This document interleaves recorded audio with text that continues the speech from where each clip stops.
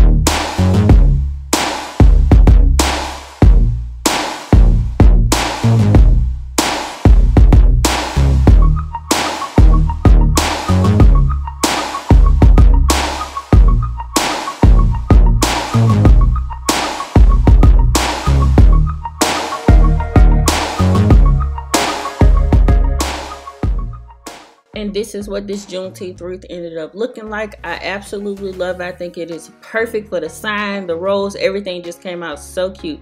So if you like this video, please give it a big thumbs up. Don't forget to hit that subscribe button and I'll see y'all in my next video.